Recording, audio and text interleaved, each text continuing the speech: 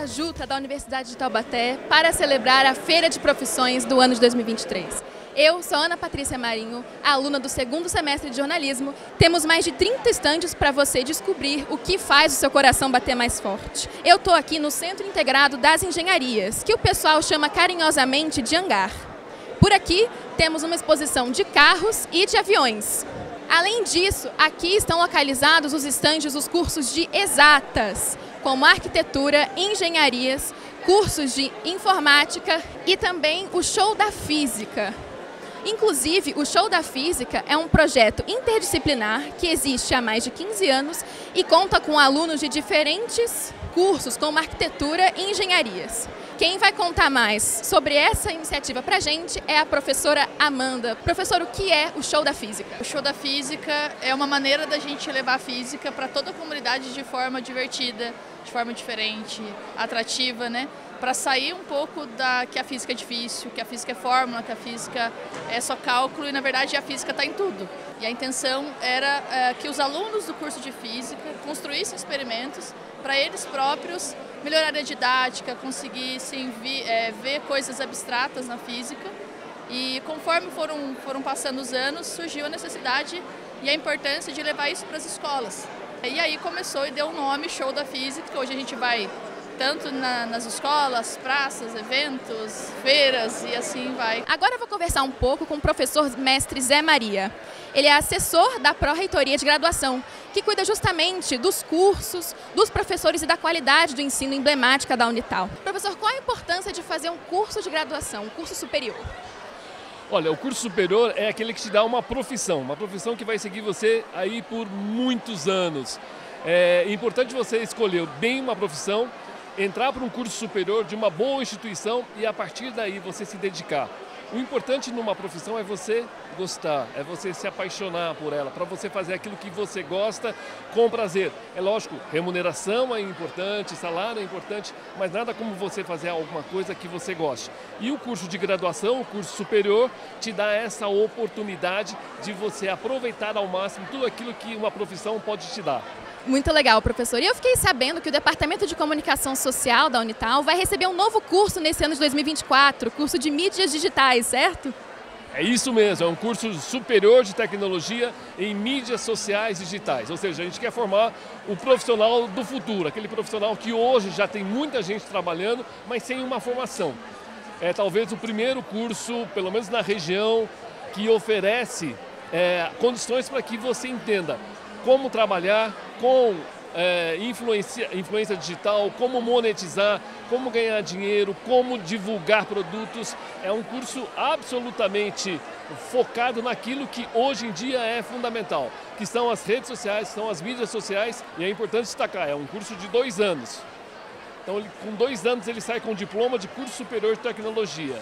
E depois ele pode fazer mais dois anos e sai com um curso de bacharelado em jornalismo ou em publicidade. Pessoal, estou aqui andando então pelo corredor da, dos cursos de humanas. Por aqui tem vários estandes, estandes de pedagogia, de história, de letras e da comunicação social.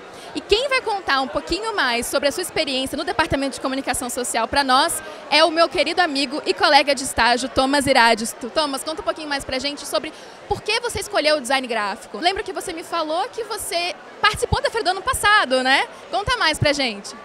É isso mesmo. Conversando com os alunos, conversando com os professores, eu me decidi pelo curso. Já era uma área que eu tinha um interesse, mas é, foi aqui é, que eu tomei a decisão mesmo. Olá pessoal, meu nome é Lívia Ferreira.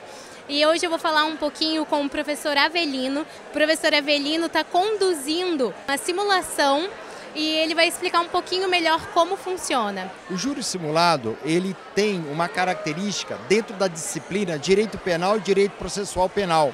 Então, na sala de aula, o professor vai dando aula e os alunos vão simulando um crime e cada um é promotor, juiz. E nós saímos da sala de aula e viemos aqui na, na Feira das Profissões expor o que os alunos estão aprendendo para os novos ingressantes. Então, é um conhecimento muito rico o curso de Direito da Universidade de Taubaté. Aqui na Universidade de Direito também a gente tem alguns projetos que os próprios alunos aplicam. Hoje eu vou conversar com o Leonardo Lourenço, e com o Beto Salgado. Leonardo, eu queria que você me contasse um pouco sobre o que é o projeto e como você está aplicando ele dentro da universidade. Boa noite, Lívia. Boa noite a todos. E bom, o Next Law Unital é um projeto de estudos criado pelos alunos, de aluno para aluno.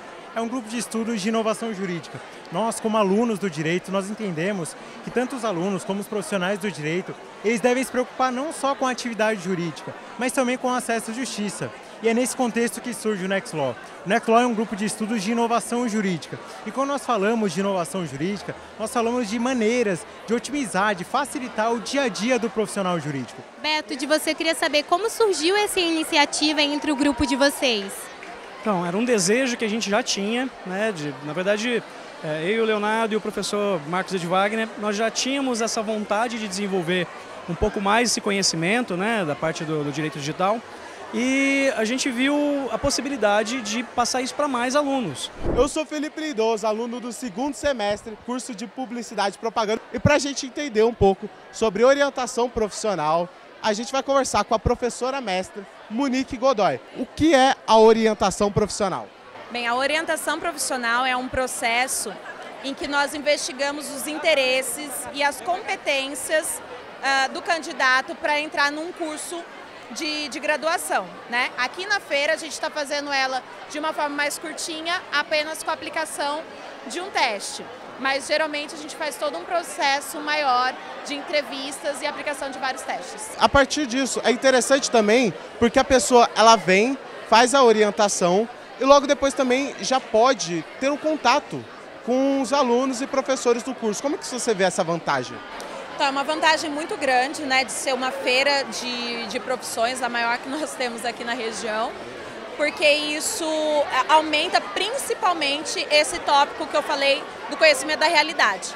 O aluno que tem, ah, apareceu no meu teste aqui alguma uma área X, como por exemplo a psicologia ou a fisioterapia, eu posso já ir no stand e conhecer tanto com professores como alunos como que é essa área.